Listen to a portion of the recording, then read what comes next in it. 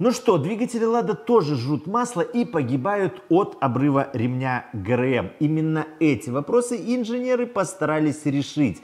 Досмотрите этот обзор до конца, вы узнаете все плюсы и минусы этого двигателя, а также узнаете, по-прежнему ли он жрет масло, а также узнаете, как его защитили, а также что китайского в нем появилось. Итак, начинаем. Двигатель 1.8 с заводским индексом 21179 был самым большим и мощным. Устанавливали его на Lada X-Ray и Lada Vesta. Но доля в продажах этого двигателя была небольшой и постоянно падала. А в чем дело? А дело в том, что в пару к этому двигателю не нашлось достойной автоматической трансмиссии. Были версии только с МКПП и роботизированной трансмиссией о вариаторе и гидромеханическом автомате оставалось только мечтать. И этот двигатель еще негативно запомнился из-за своих конструктивных решений. И вот в конце 2023 года АвтоВАЗ объявил о появлении доработанного двигателя, в котором, как э, заявлял автозавод, он устранил все недостатки. Надеемся, что новых недостатков в нем не появится. Двигатель 1.8 EVO на данный момент устанавливается только на Lada Vesta. Больше всего владельцев Lada с двигателем 1.8 напрягал жор масла. Однако четверть владельцев отрицают эту проблему, но многие все равно возят канистрочку на долив. Масляный аппетит умеренный, примерно 500 мл на 5-8 тысяч километров. Но некоторые двигатели Лада 1.8 едят два раза больше, то есть в районе литра. В конце 2021 года коробчатые маслосъемные кольца заменили на наборные, что помогло решить вопрос с жором масла. Но есть небезосновательные мнения, что причиной жора масла является неудачный процесс расточки гильз.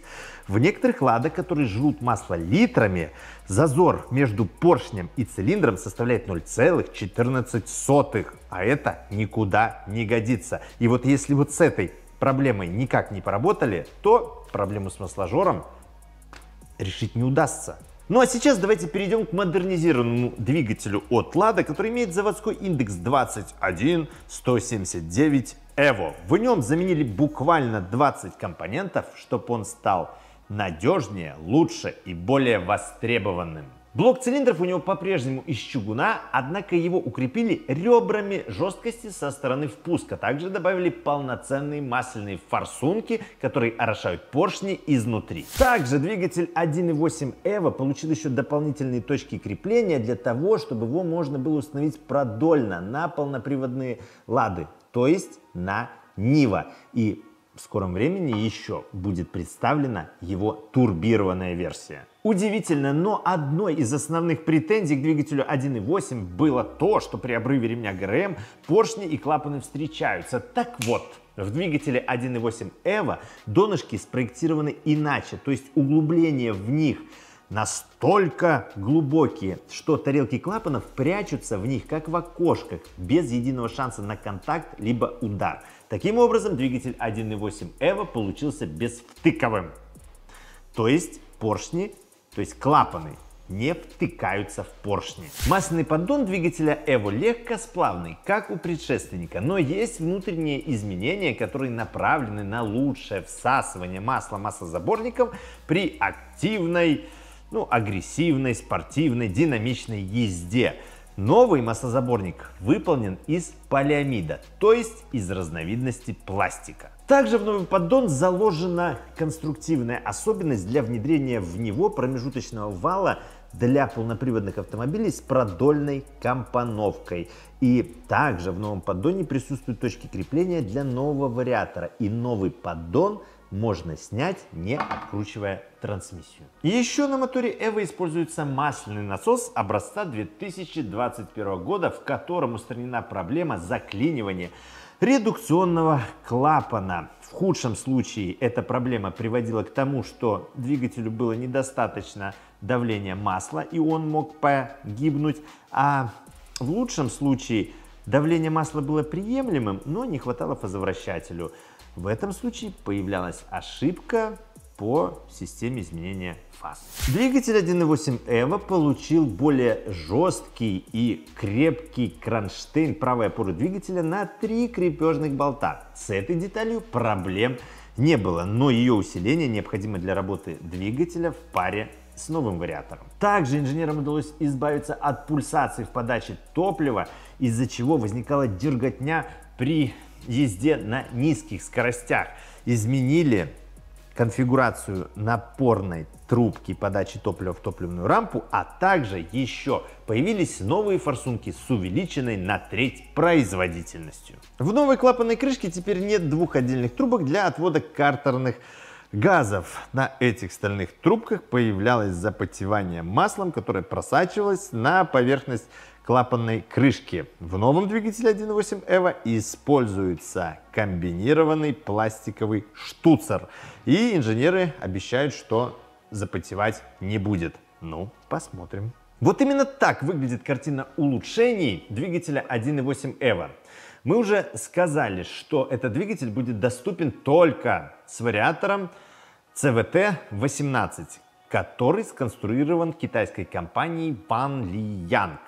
И этот вариатор может в ручном режиме эмитировать 7 ступеней. И, кстати, цепь для этого вариатора сконструирована китайским подразделением компании Bosch. Ну а теперь давайте поговорим о китайских комплектующих, которые получил двигатель 21179 EVO.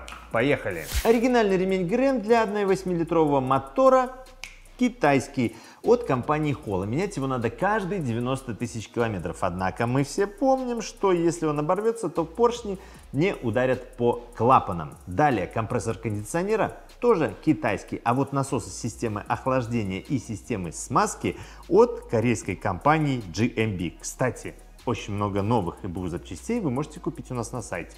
Ссылочки в описании. Электронный блок управления у двигателя 1.8 EVO свой собственный. Пиковая мощность этого двигателя не изменилась 122 лошадиных силы. Первые Весты с этим двигателем начали поступать в продажу совсем недавно. В Беларуси еще таких счастливчиков нет. Первые поставки на конец мая 2024 года. Базовая стоимость Весты с вариатором 17 100 долларов. И это мы говорим про базовую версию. И еще раз отметим, что механики с этим двигателем 1.8 EVO нет вообще. А автомобиль э, с двигателем ВАЗ-21-129, то есть менее капризным 1,6-литровым, стоит на 800 долларов дешевле. И поэтому доплата 800 долларов в принципе адекватная за двигатель 1.8 с вариатором. Но, естественно, будут и недовольны тем, что МКПП с этим двигателем недоступно совсем. Ну, а теперь давайте подытожим. На самом деле, я надеюсь, что все недостатки двигателя 1.8 от Lada в двигателе 1.8 EVO от той же Lada устранились. И этот двигатель уже не будет есть масло. Если порвется ремень ГРМ, то ничего страшного. То есть одни плюсы.